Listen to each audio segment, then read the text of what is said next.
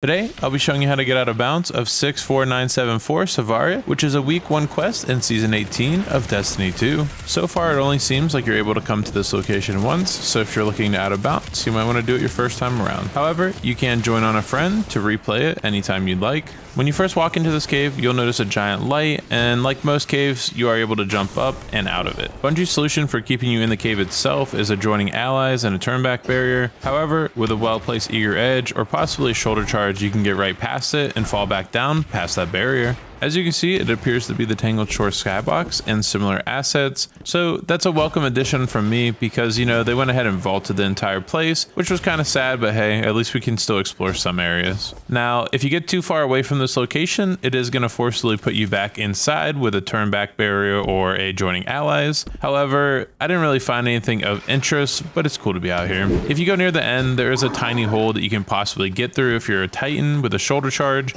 However, I didn't get a chance to try it out. If you learned something new and enjoyed the video, please consider subscribing and leaving a like. If you didn't, then leave a dislike and let us know why in the comments. And as always, stay curious, Guardians.